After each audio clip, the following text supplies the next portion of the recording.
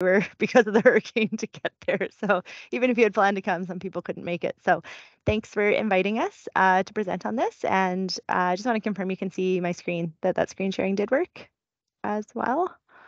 Yes. Okay, super. Uh, and hi to everybody in South Zone. I saw some of you on there. So awesome. Nice to see you guys again. Um,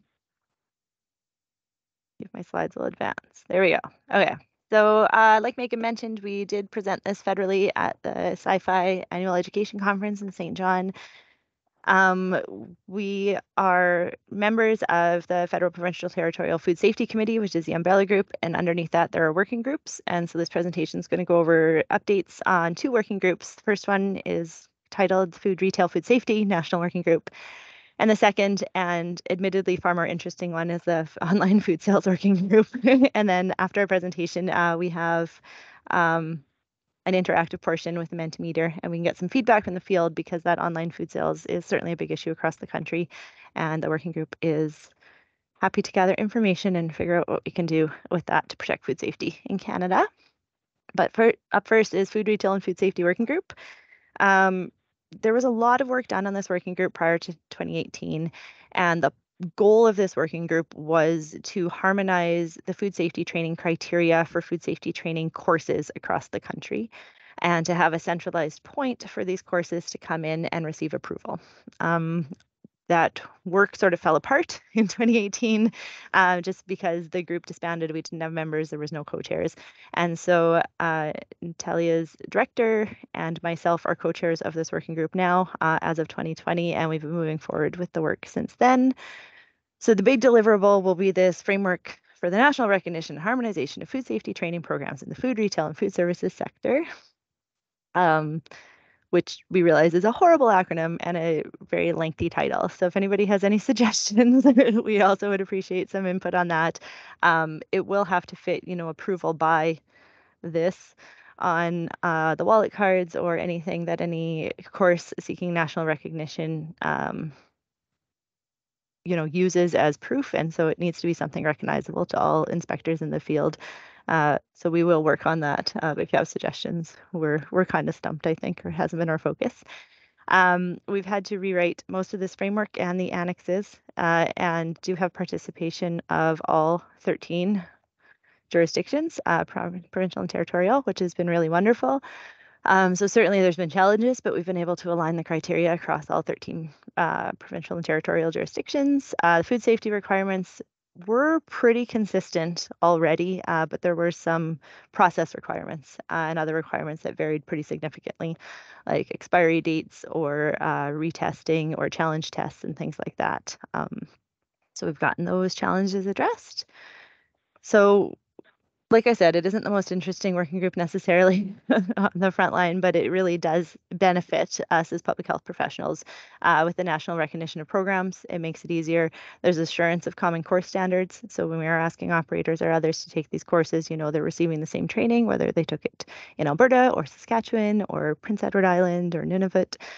Um, and for those who do work in the approval process, uh, it does streamline the approval process and lessen the workload across all the PTs uh, to a working board instead. Um, so what do we have left to do? We've got to finish review and drafting of a couple of the annexes. One of the annex is instructor-led courses and the other one is uh, self-study type courses. And the endorsement, we need endorsement by that umbrella group that I was talking about, the FPT Food Safety Committee and then we'll have to work on implementation. So we're still working out the kinks in terms of having a web host and how the input comes in and how the communication goes out. But the assessment of the courses and the content of the courses and process are pretty much complete. We're just waiting on that endorsement. So that's it for that. Uh, that one's pretty quick. We're hoping to get that done in the next couple of months, uh, and then that will be communicated out to the provinces and territories as well. Uh, the second working group, and like I said, it's more interesting because it is a bit newer, um, and there's certainly some interesting, well, lots of interesting things that come up all the time. The online food sales working group. So uh, I'll start uh, explaining this, and then I'll hand it over to Natalia um, for the rest of it, and then to lead us through the Mentimeter interactive part. And I realize I'm talking quickly. I will say in St. John, we had 45 minutes to do this presentation. I recognize we have half hour here, so I'm trying to go through it a little bit quicker. So uh, we don't run out of time before we get to the fun interactive part. Um, so please also keep questions in mind and ask me anytime if, if I've said something too quickly or you have additional questions. Um, the background for this online food sales working group uh, was we noticed, and, and there's evidence and scientific data, that the sale of online foods has been increasing for some time and definitely skyrocketed um, sort of into COVID and post COVID. And so we needed to come together as a PT working group to discuss these emerging online food sales issues because we're seeing the same issues across the country to identify gaps in the food safety and regulatory frameworks uh, and to brainstorm how do we mitigate that risk because ultimately the point of any of these working groups and of the food safety committee is protecting public health uh, and keeping the food safe. So this graph just shows sort of increases and amounts over time of different types of online food sales. All of the categories here, I guess, are are related to facilities that we often connect with anyways outside of the delivery one. So restaurants or grocery stores, uh, food producers, things like that. What we did find when we were working through the online food sales working group that's not addressed in this graph is the online food sales that don't follow that sort of business to consumer model. So those are really looking at businesses um, to a consumer. And so there's four different types of business models that we had to consider. Uh, business to business is like Sysco selling to a restaurant. It's a business selling to another business before it gets to the end user. Business to consumer is like Walmart selling directly to you. Consumer to consumer is me selling my stuff to you. Um, and consumer to business would be me, uh, you know, in my homebred business, which I don't have. This is an example, selling to uh, the co op or something like that. So it's really these consumer to consumer um, type interactions that we found are the biggest gaps and biggest confusion and and potentially biggest risk. And a lot of those sales occur through social media, marketplace, Craigslist, or other you know, person to person type interactions like that. Uh, and then we also found that there was a bit of a gap around food delivery. So ready to eat foods, uh, Uber Eats and Skip the Dishes, but also grocery delivery services. And so the issues, as as everyone is likely quite familiar with, is the risk of foodborne illness. Um, there's also issues around the ingredients used. Where are they coming from? Are they what they say they are? Uh, that relates to the last one too. Are you selling something as product A, but really it's product B? Uh, food fraud uh, is a big concern federally, uh, and we do see it come out in these online food sales. Regulations vary across the country uh, in terms of the ability to sell food online and, and what the follow up is, but there's certainly some regulatory concerns there as well. And then exploitation. So these online food sales um, have been linked in some studies and in some cases to exploitation of people, um, especially uh, new Canadians and other people who are at higher risk and more vulnerable to exploitation. So I um, pulled some examples, and I don't. Those of you who I think I might be Facebook friends with will realize I'm never on there and don't use it. And I know when I first posted this, people are annoyed at my number of messages, but I don't use Facebook. But I did go on there for the purpose of this presentation um, and went to Marketplace and just searched food. So super simple query. And what came up to start uh, was what appears to be like kind of tasty looking, but definitely a potentially hazardous food and not necessarily prepared in an approved facility. There were all sorts of things on there uh, commercial foods, prepackaged, uh, might be sealed, might not be sealed, allowable homemade foods. So, both in Alberta and Saskatchewan, the requirements are slightly different, but there is an allowability for home prepared foods to be sold, uh, typically low risk or non potentially hazardous foods. So in some cases, that's what I came across, and and we don't have any restrictions here, and mostly in most of the country in terms of advertising. So that was okay. But then there were things that wasn't as clear just from the picture if it was a low risk food that would fall under that sort of regulatory exemption. Um, was definitely meat on there for sale uh, on a concrete floor, cut and wrapped, possibly somewhere, possibly not. Uh, this one I put in for the price of apple crisp nobody's probably paying that but also that there's there's claims on there and there's no verification of these claims Uh, is the person who prepared it food safety certified? Did they think the apple crisp is? But to the public, this might seem something that, hey, that's a safe purchase, and it, it might not be at all. Uh, there were labeling issues, which is definitely covered federally, but nevertheless are present on these online food sales. Um, there was a lot, a fair amount of ongoing sort of food prep, meal prep services available on there um, that based on the pictures are unlikely to be being done in an approved facility. and then I put this one in last because it was fun that uh, the people are getting creative. People are looking for ways to make money, anything you can, anything that will sell, but that um, these are might overlap with other regulatory issues as well because uh, you can't sell alcohol this way either. So, uh, and meat and cheese uh, create kind of an issue, but that one's fun. So I will now turn it over to Natalia. And maybe you can just, I'll keep sharing my screen and click through slides and then let you share when we get to Mentimeter. Perfect. Okay. Yep. Thank you so much. Okay. Um, thanks for, the, for for setting the pace there, Kelsey. Um, I'll try and match it. Uh, so uh, our our online food sales working group objectives. Um, so the first one is identifying um, existing regulatory frameworks, gaps, and enforcement measures as they relate to online food sales um, at the FPT level. So we've already done um, quite a bit of work in this area. We've mapped out existing regulatory frameworks and have identified many gaps in how the existing regulations support online um, sales and purchase of foods in Canada. So some of the very general themes that we've identified in our work so far include that consumers and people involved in these like consumer to consumer sales often don't seem to have knowledge of the regulatory requirements, um, as I'm sure you guys can probably attest to. Uh, consumers may not be aware of the risks of purchasing food online. Um, and generally speaking, there's a lack of defined policy and guidance that's specific to online food sales, both for inspection staff and consumers.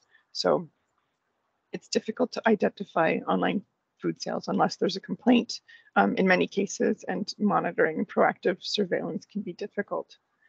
Um, and the regulations that govern the sale of online foods vary across the country in scope and enforcement. So, um, you know, the sale of certain foods from private homes without additional permitting requirements is allowed in some jurisdictions and entirely prohibited in others. So, um, this would make like a one size fits all approach very difficult um, in terms of guidance.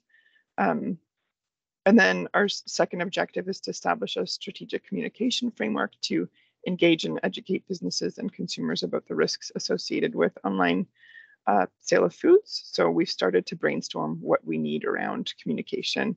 Um, this is still in its planning phase, but um, it seems like educating consumers is, is a good place to start with guidance. And lastly, um, researching international best practices related to online sales of food and making recommendations for adoption in Canada at the federal, provincial, and territorial level. So yeah, uh, next slide, please. Um, so this, I wanted to include pink sauce. Um, I don't know how many are familiar with it, but it's an extreme example of online food sales, in my opinion.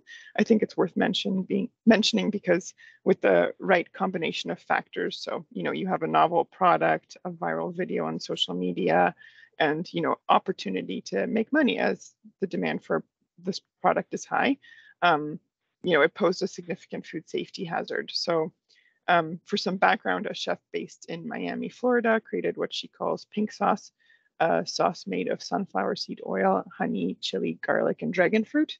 And the sauce went viral on tiktok which led to an online retail operation.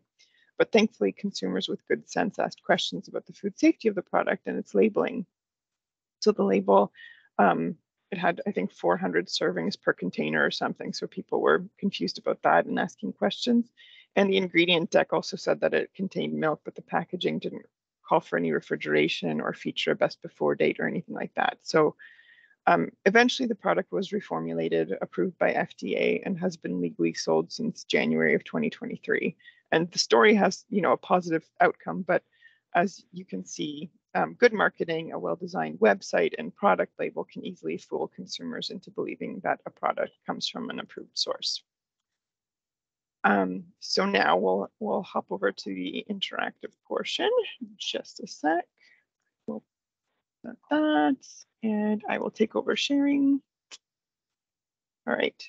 I don't know how many of you have um, used Mentimeter before, but um, if you if you uh, go ahead and um, use your phone to scan the QR code there, um, it should open up the um, web page and then you can uh, respond. This is just sort of a trial. Okay, coffee, same.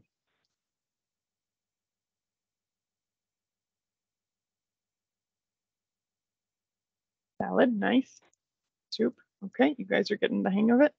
I'll give you all a chance. I'm seeing 13 people on right now. Nothing. Oh, hope you're feeling okay, bud. Okay. Um, very cool. Ravioli, soup, salad, lots of sandwiches. Nice. Okay. See this word cloud. If if you don't know what to say, you could just put in sandwich and watch the word get bigger. Always fun. Got 60 people on the call, so I'm gonna give it a sec. Ribs, nice. Sounds like leftovers.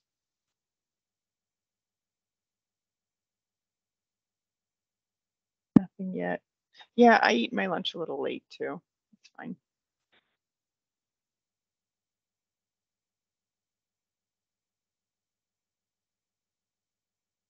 Okay. I think I know who got- put in Diet Pepsi. Not that I'll call anyone out. That's a good answer. So I will, um, I'll, so each slide that I've got prepared has this QR code on it. Oh, nice. um, so if you want to join a little bit later, that's fine too. All right, so I'll go ahead and go to the next slide. Okay, so here we'll get into the uh, meat of the, um, I guess, uh, en- engaging piece. So uh, for starters, have you noticed consumer to consumer online food sales in your jurisdiction? Way more than I used to. Daily issue, not really. Okay. I'm curious if you're willing to share for those who have responded, not really, if you have any um, guesses as to why that is the case. Um, it may be in the chat.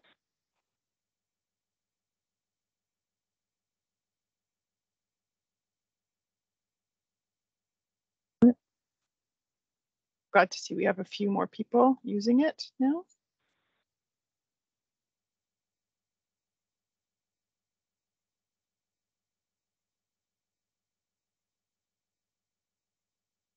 So overall, it seems like that it's it's way more than people used to see, and, and for some, it's a daily issue. So I'll go ahead and continue on. Um, what's the wildest online food sale you've received a complaint about?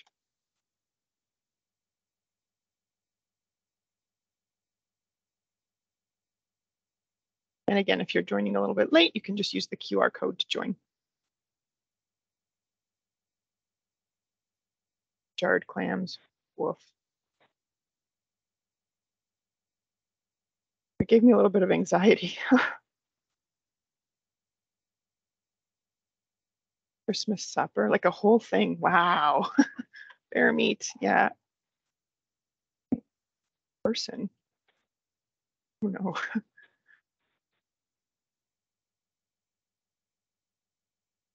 Preserves, just food generally. All right. Preserves. I'm hoping person was maybe, why is it getting bigger? um, what is going on in Alberta? Yeah, Why so many yeah. persons? We could A plate about the person, not about the person being offered his food. I'll just- Yeah. um, many different ethnic PHFs. Yeah, that's that's something that we've heard a lot of for sure. Um, low risk, but not actually. Yep, yep. Biryani, mm, delicious, but you know, shouldn't sell it on marketplace.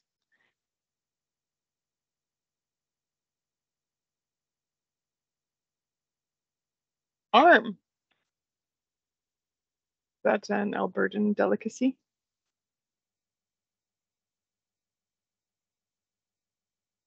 Fish. Okay. Okay, we're gonna. I, I'm seeing that we're we're we're getting low on time, so I'm gonna go ahead and continue advancing slides. But these are interesting and I would say consistent answers with what we saw um, at the CIPHI conference. Um, okay, so here, how does your jurisdiction handle consumer to consumer online food sales? Is it complaint based? Are there designated staff? I should also add this is all anonymous. So, and there's also going to be an option to start voting in a little bit, and it seems like uh, literally all of the answers are complaint. Is there anything other than complaint based? Speak now. I think in Alberta, with You- mostly being Alberta Health Services, it's one jurisdiction, so that is all Okay. handled the same.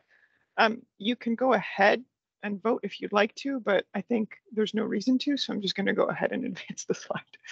All right, big votes, big votes. Okay, what is the riskiest aspect of online food sales in your opinion? And I think this one is going to have a um, voting option as well. But I'll let you put in your response. Dumb people, uh, reach unregulated, foodborne illness, storage contamination, temperature abuse. Yeah, false sense of security, so true, death, yeah. Sale of potentially hazardous foods, FBI again. Sale of uninspected raw milk, and uninspected meat, yeah, uninspected ingredients. That's that's a one we have in BC as well that comes to mind. Complex foods prepared at home, lack of food safety. Okay, I'm going to go ahead and um, give you the option to vote if you would like to, but I think we have a pretty good sense of responses. So these are all great answers. Thank you. Okay, and then um, what complicates online food sales most? What frus- frustrates you about them? And you, again, there will be the option to vote, but we we are a pretty small group, and I feel like there will probably be a lot of the same answers. So just feel free to go ahead and respond capacity to handle, yeah, resources. I assume there's no designated staff. Can't keep track too many. Anonymity on social media. This is one I've heard a lot where like, you know, people can get in trouble, but then they just pop up under a different name.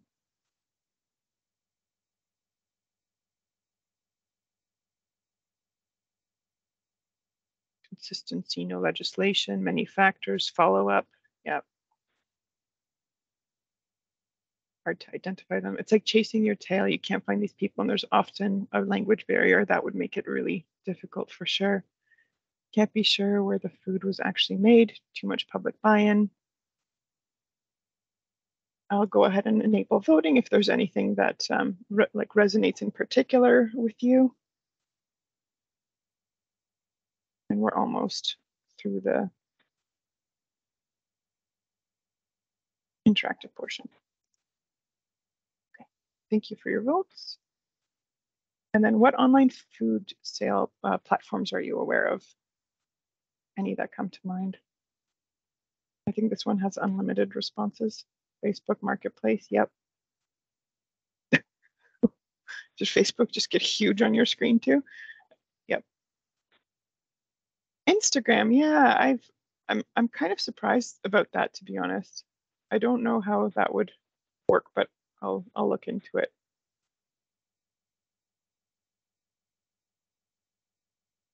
Kijiji, yep.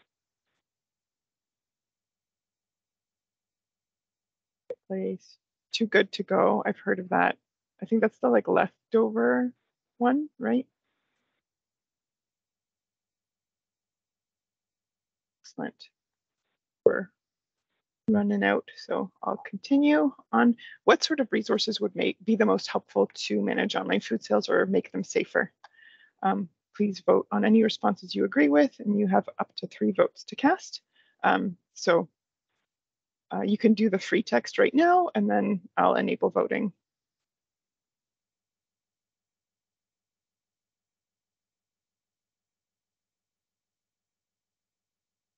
Secret shopper. Yep, more public education. Platforms just simply not allowing it. Police enforcement, since they're private residences. I've heard a lot of issues with the, like, what can you do, right? Ban them. Educating people, consistent regulatory approach, regulation specific government support, jail time. Get the platforms to prohibit it. Okay, I'm going to enable voting. buy-in from platforms, public shaming. Use a bell. Make them walk down the street. Game of Thrones reference. Uh, and four more seconds to vote. Okay, this is, yeah, you guys are really getting the hang of it. Thank you. Awesome. Okay. And then this is the last one, I think. No, second last. Do you have any final thoughts about online food sales that we can bring back to the working group? And then um, the last one will just be any final questions for us.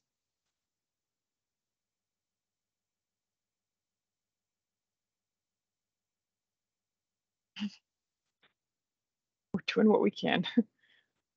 Thanks for the uh, gratitude.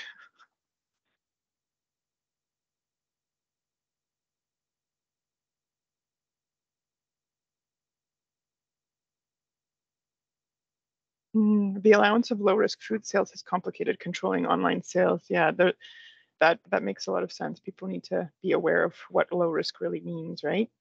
Um, developing a realistic regulatory standard, compliance or commercial operators trying to stay within the rules. This is the other side of it for sure. Um, it's a growing problem. Yeah. Thank you for the thank you.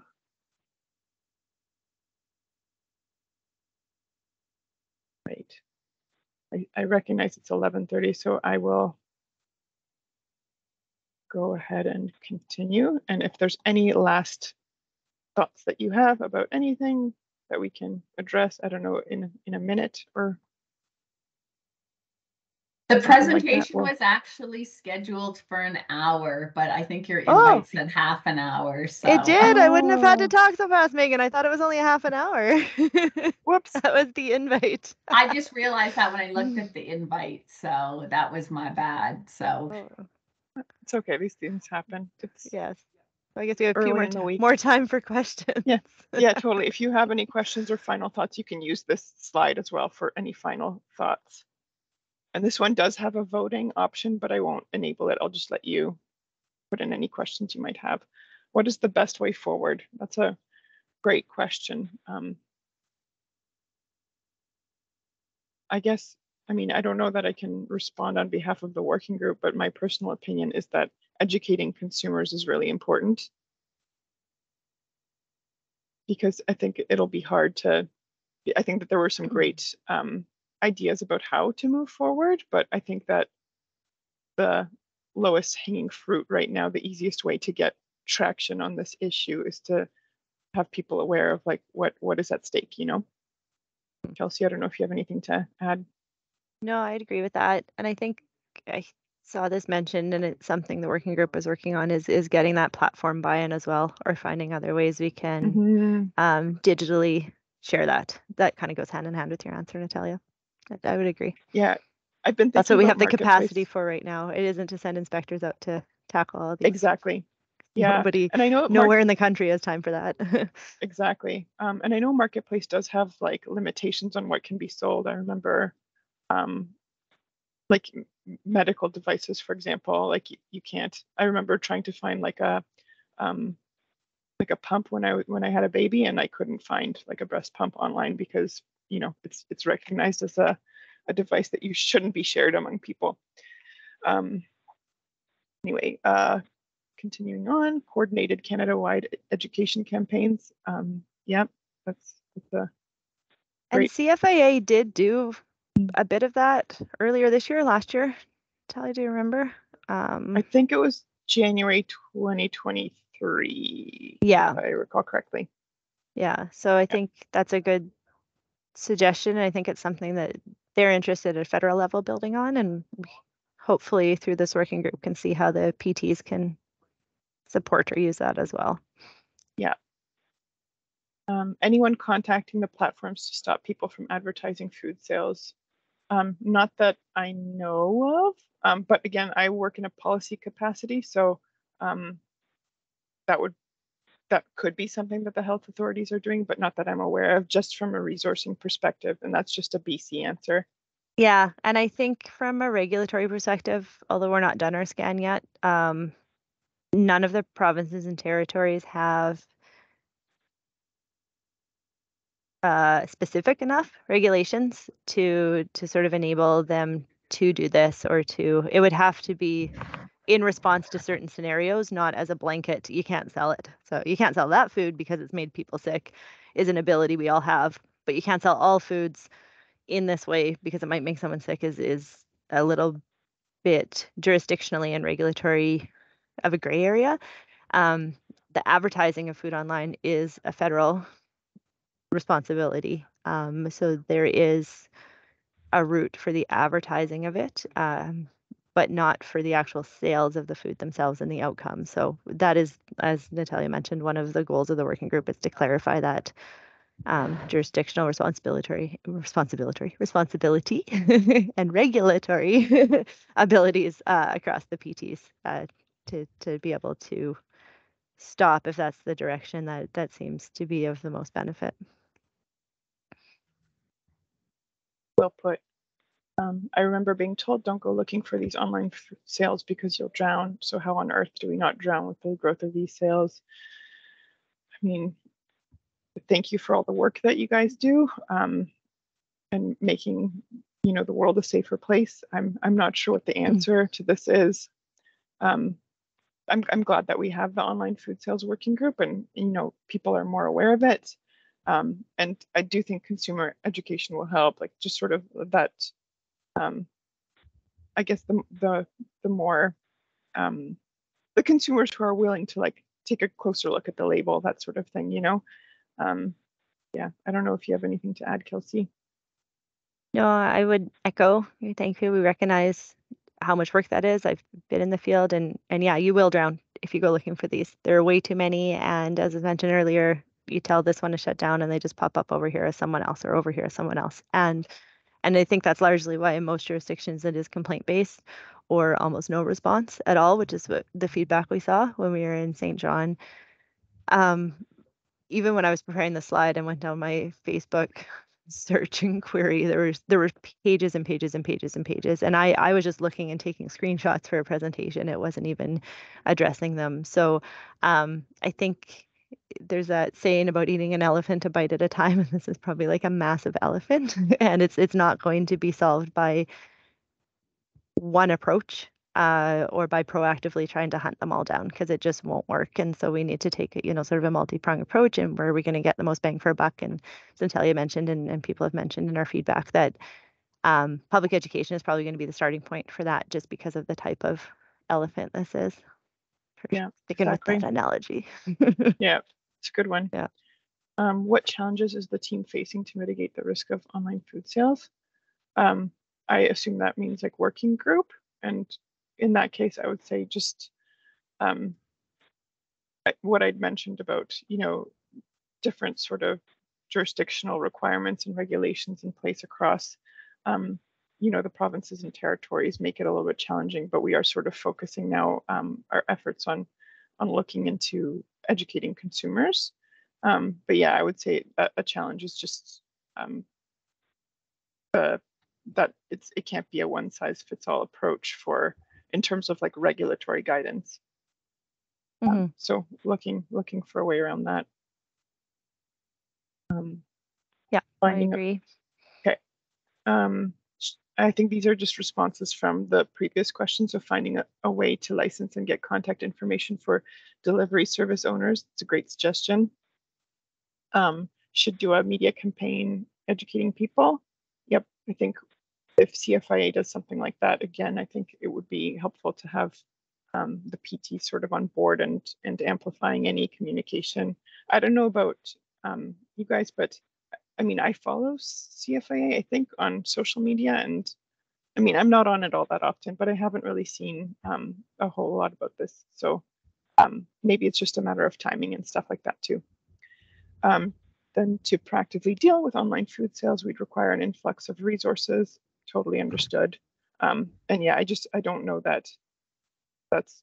I mean, it would that would require a lot of sort of, you know, resourcing and effort on um, at different levels, which I think might be tricky, but understood.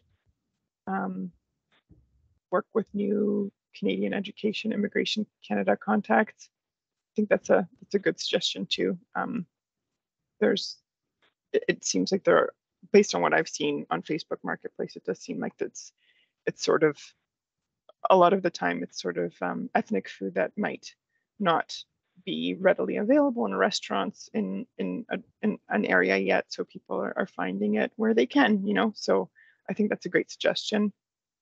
And then if, is it cfia that deals with advertising?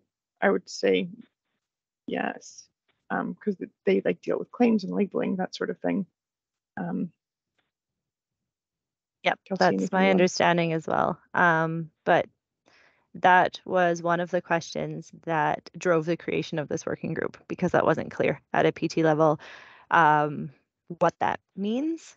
And so we, er, you know, and what what does that cover? And then how do we relate back to that as a province or as a health authority uh, when we are having these issues, even if it's just complaint based coming in? So um, that is something the working group is working on clarifying with uh, the CFIA.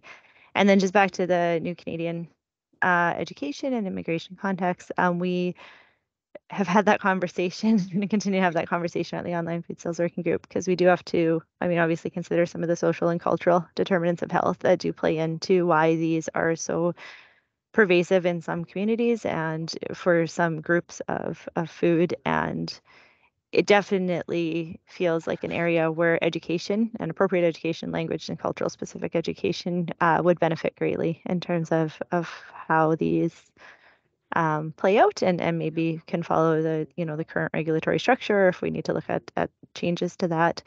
Um, there was an example of a that we didn't put in the presentation, but of a woman who moved to California from Mexico and couldn't find this very specific food that she used to eat all the time back in her province in Mexico. So she started making it. She taught her mom and her sister how to make it, and they made it out of their house and they sold it online. Um, and it was almost a test run. First, they got access to their thing, and then when it became really popular, they thought, "Hey, this is a viable business." And then they did end up opening a cafe and food production to be able to make this product. Um, but they didn't know the market well enough they, to know if they should invest in a legitimate, I'll say legitimate or like legal storefront, brick and mortar, whatever you want to call it, um, proper food business until they sort of test ran it through this gray area online food sales. Um, and so even just educating how you get to working within the current regulatory requirements, I think would be beneficial in those areas as well. Agreed we um I see another um, suggestion. Food regulations overall need to be more strict and need to have harsher penalties. Um, yeah, I mean, it's I, I think people just don't understand what the risks are of of eating something that you know they don't know the source of, or you know, I guess I, the way I explain it to my team here, like in health protection branch outside of food safety, is that when everything's going right, like you don't hear about food safety, right? So, um, uh, I agree. Um, and then I see uh, one more question that came up. Would it be possible to advertise the risks and regulatory information on the same platforms that online food sales operators frequent? Maybe even require sites to post eat at your own risk disclaimers. Um, I don't know the answer to that, but it does sound like a pretty good middle ground if they can't just straight up, you know, like ban online food sales on um, social media platforms. Yeah. And I think it's something we're exploring and it ties into a conversation we've had about um, most regulatory requirements requiring places who are permitted or licensed to display that to the public and how there isn't a, a, mechanism for that. And so to tie that in as well. So we did really focus on the consumer to consumer sales for online, but the working group is covering sort of all types of sales because I know there's a question there about delivery, uh, which really is business mm-hmm. to consumer. Uh, and then, you know, that this question could be broader and integrate into that as well. So I think it's a good point that, that we can bring back to the group to explore further. Definitely. I don't see any other questions coming in, but um, thank you so much for your time and attention and um, all the great feedback we've received. We'll definitely bring this back to the working group. Um, and it sort of fleshes out, I think, what we heard at the CIPHI conference as well. So thank you. Definitely. And stop sharing. Well, thank you so much for the presentation and the, the engaging kind of format with the polls and the questions. So, um, yeah, on behalf of the Alberta branch, um, I want to thank you guys for the presentation. Um, I did record it. Um, are you guys okay if I share it to individuals on the call and members, or would you prefer we don't share it? Okay to share? Thanks, We got, yeah, the okay from the working group for it to be available too. So yeah. Perfect. Well, thank you so much, Kelsey and Natalia. Um, and thank you everybody uh, who attended today. So have a great rest of the week and uh, yeah, we'll chat soon.